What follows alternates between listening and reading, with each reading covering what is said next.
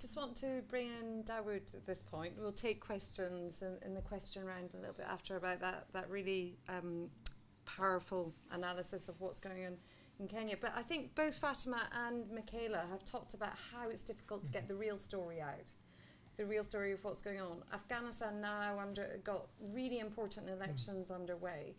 How easy is it going to be for journalists in Afghanistan to tell the real story of what's going on? Well, um, it is uh, difficult uh, because there are several challenges. Uh, but if you compare it with the previous elections, uh, the Afghan media is more professional.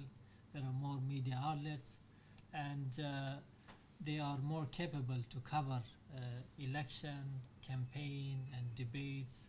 And I hope the voting and post-voting situation too. 10 years ago or 12 years ago, there was just one television station in Afghanistan. Uh, there was no television station at all, just one radio station and a few media outlets. Now there are around 500, dozens of television stations, uh, FM radio stations, and uh, dailies, weeklies, and monthlies. So all of them are covering uh, candidates, their policies, their strategies, and their programs. Uh, but the big challenge is uh, the polarization.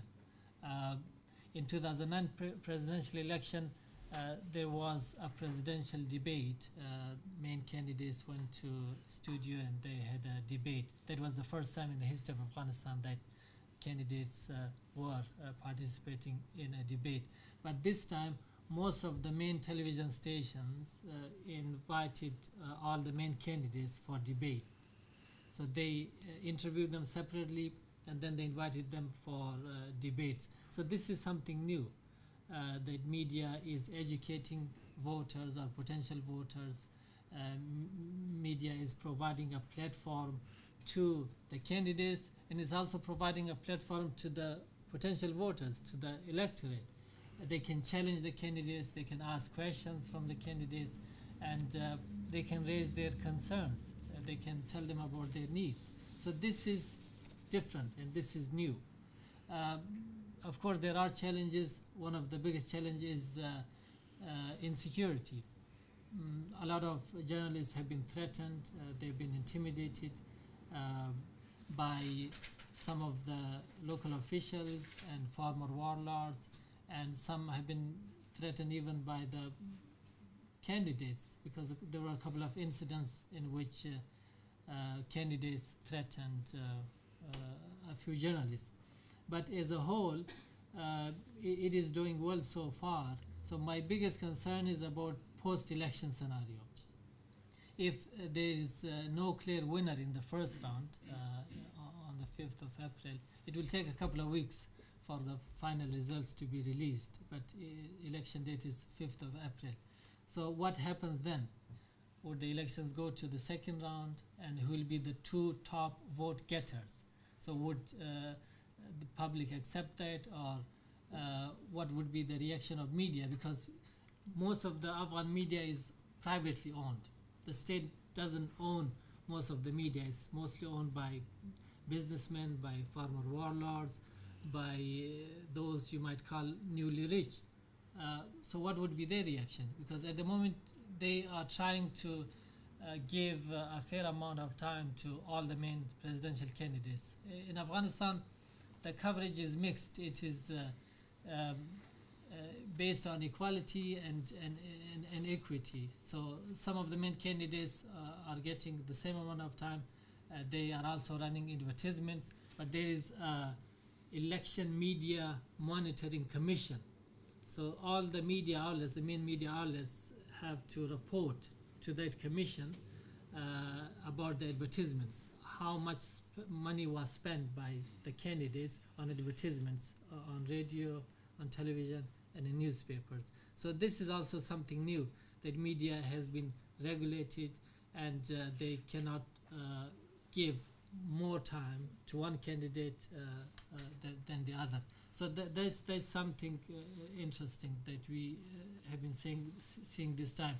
Uh, another threat is by the insurgent groups, because if uh, journalists are going to cover uh, voting in uh, remote provinces.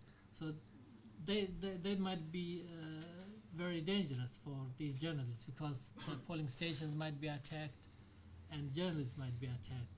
And in some incidents, uh, the rival candidates or their supporters uh, might not be happy with the presence of a journalist because in 2009 there were some footage, video footage of uh, uh, ballot stuffing and uh, the rest of it. So if similar things happen this time, if a journalist is filming or covering uh, these uh, incidents, so there, there's also a risk. I, I wouldn't worry about that kind of coverage in the cities because cities or polling stations in main cities are well secured. So I'm not sure whether journalists would be able to go to remote provinces and report from there or not. So that's another challenge.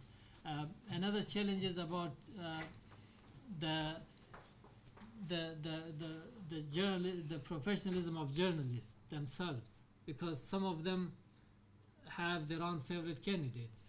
So do they can they manage to be impartial in their coverage?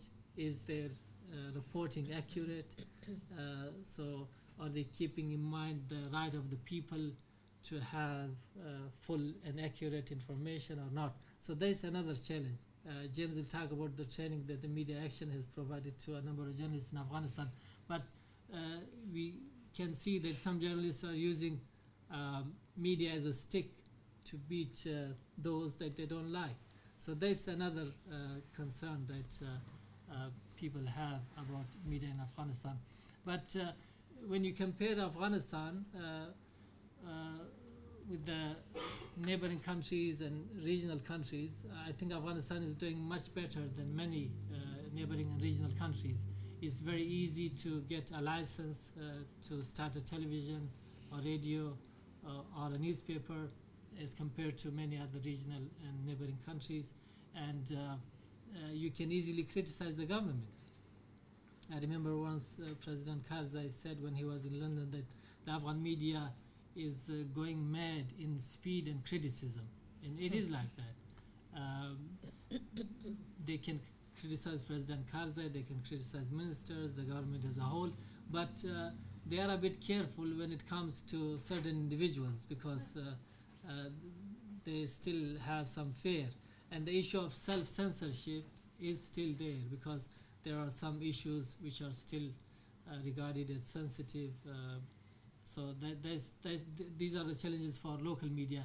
But as you know, uh, a lot of uh, international broadcasters uh, are also broadcasting to Afghanistan, like the BBC, Voice of America, Radio Liberty. So they have more freedom, and they are uh, they would feel much safer when they broadcast to Afghanistan because uh, they can easily challenge uh, officials. They can easily report on uh, issues of fraud um, and, and accountability. So that's uh, good to have a mix of local media and international media because some of the issues cannot be covered properly by local media uh, because of the pressures that they are under. But as a whole, this is unprecedented, uh, the number of media outlets in Afghanistan today and the kind of debates uh, that they are having and the kind of issues that they are uh, discussing or covering in their, uh, in their programs. So uh, I think uh, it will be interesting to see um, the coverage of the voting day and the reactions to the result of the election. So these are the two unknowns that we will find out in the next two or three weeks. And just in terms of the, the desire of the mm. Afghan people, how how much do we know about how much they value impartial reporting around around this particular time about elections, having access to, to different candidates? Well, it, it's, it's very important for the people because journalism is a very respected profession in Afghanistan. Uh, if you're a journalist, you'll be respected, you'll be seen as an impartial. So that's very important because uh, in Afghanistan, as you know, in the history, many people have taken different sides. There were groups, there were alliances, there were um, many uh, parties. Uh, but uh, journalists are always seen as impartial, so that's why they have a lot of respect, and they are respected because of their impartiality. That's it, and if the media is seen as partial, uh, so then people wouldn't trust. Uh, the BBC mm, is trusted uh, by most of the Afghan people uh, compared to other international broadcasters and, and local media outlets. So this, the trust is key, and trust comes from impartiality and accuracy. So that's uh, and, and journalists know that impartiality is a core principle. They discuss about these issues. They I've been to many meetings with journalists in, in Kabul and in other provinces, but sometimes uh, some in, journalists might not be able to to control their emotions, or maybe it's too important for them to remain uh, neutral or impartial. But as a whole, when you talk about the mainstream media, so it's more professional and it's uh, uh, more uh, transparent and more accurate as compared to like five years ago or even uh, two or three years ago.